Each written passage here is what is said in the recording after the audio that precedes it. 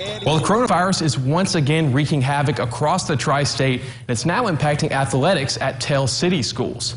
The Tell City School Board announced this week that all athletic programs from 5th through 12th grade will be suspended through December 13th. The move comes in response to a rise in coronavirus cases in Perry County. The board also implemented online instruction beginning on November 30th.